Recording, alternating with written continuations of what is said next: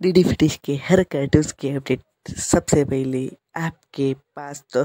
अभी देखिए, cartoon prime हर शाम छः बजे, only on D T H update